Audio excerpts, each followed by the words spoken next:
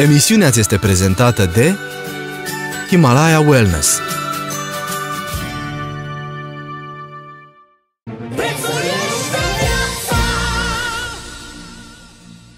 Bună dimineața! Prețiește viața! Să ne imaginăm o clipă următorul tablou.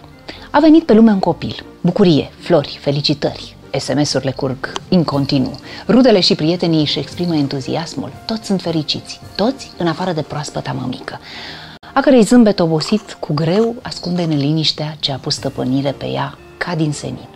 Ce se întâmplă? Aparent, greul a rămas în urmă.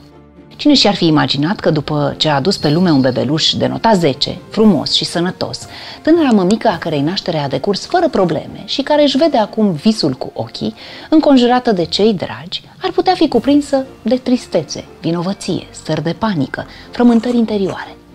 De ce reacționez așa? Sunt bolnavă? Nici de cum, ne asigură medicii.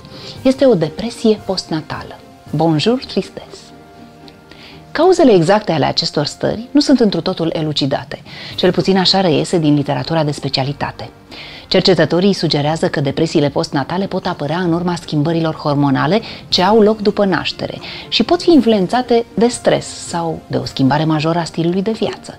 Firește, situația se poate agrava prin suprapunerea altor factori, cum sunt de pildă sarcina nedorită, o naștere dificilă cu complicații, lipsa suportului social, o schimbare de moment, cum ar fi o mutare recentă, decesul unei persoane dragi sau schimbarea locului de muncă. Dar nu discutăm acum despre cazuri extreme. De altfel, nici femeile realizate care au atins un anumit nivel de stabilitate financiară nu sunt ferite de depresii. Să ne aducem aminte de un caz celebru, prințesa Diana. Ea a trecut printr-o depresie postnatală cruntă, deși ulterior s-a arătat a fi o mamă extrem de afectuoasă. Mai mult decât atât, a fost o femeie care și-a descoperit vocația în a fi mamă.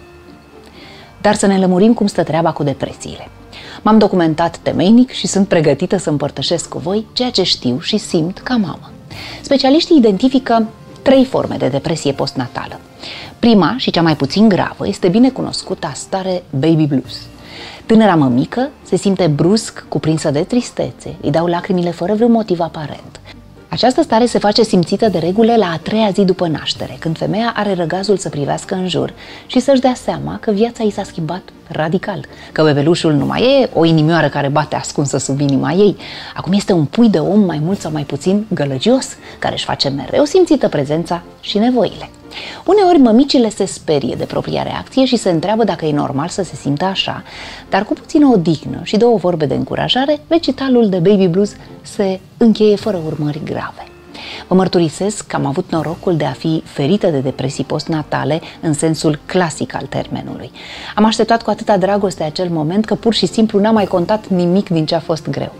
Durerea de după operație, când mi-a fost pusă în brațe pentru prima dată pitica mea, suferința fizică a dispărut ca prin minune.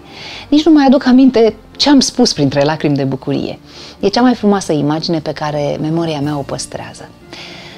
Dar de ce să ascund? Un foarte scurt episod de depresie postnatală tot am avut. Mi-am foarte bine cum în cea de-a doua zi sau a treia, după ce o născusem pe Violeta mică și eram încă în spital, am intrat brusc într-o stare de panică. Mi-era teamă că nu sunt în stare, că nu pot să acopăr toate nevoile copilului meu. Deși citisem foarte mult înainte, eram o mică bine potcovită, teoretic.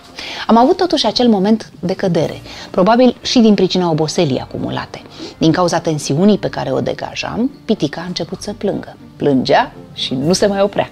Eram disperată și starea noastră, a mea și a copilului, se agrava din ce în ce mai mult.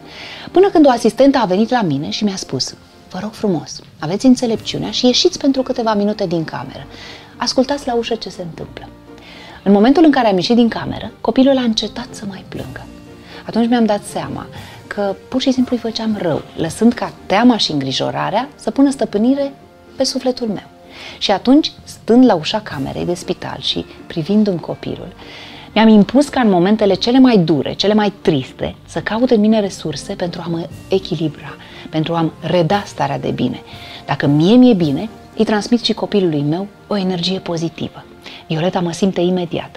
Chiar și acum, când mă vede tristă, vine la mine și mă ia în brațe, mă mângâie cu grijă de o mare. Aceasta a fost experiența mea în ceea ce privește depresia postnatală, scurtă, dar cu efect imediat. Însă, mult mai multe am să vă spun pe acest subiect amplu, din experiențe cunoscute, ale altor mămici și ale medicilor ce le-au fost aproape. O voi face negreșit într-o întâlnire Prețiește Viața viitoare. Pe curând!